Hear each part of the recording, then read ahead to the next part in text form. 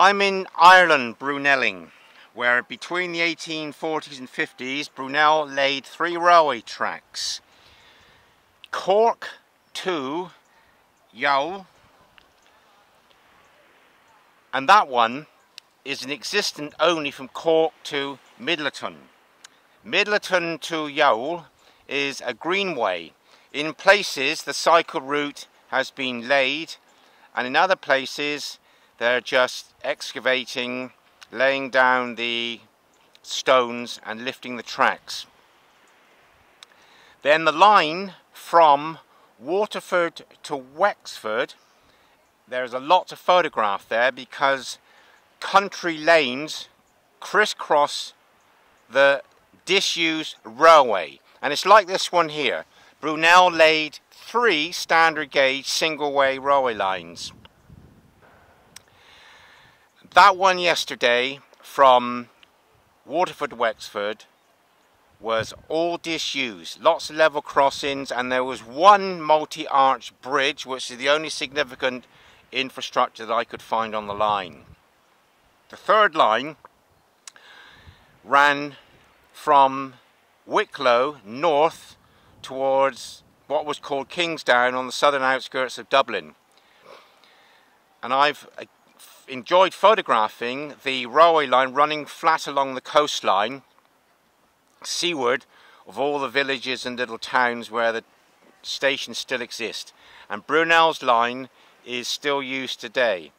The major, most challenging infrastructure was the line having to be cut through here at Bray Head where there were tunnels that Brunel had to bore because the landowner would not let the railway cut through his estate.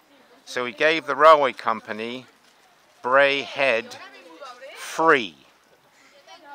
But some of it's been called Brunel's Folly because of rock slides and there was a collision on one of his trestled viaducts and with the rock slides, the erosion of the tunnel it was called Brunel's Folly because of the erosion and the rock slides. And there's a footpath on the top right of the picture which you can see whereas if it were open you would be able to see Brunel's disused tunnels but again rock slides persist and these rock slides have caused the council to permanently close the cliff top footpaths from Bray to Greystones. So there is an element of disappointment here that I cannot see the tunnels.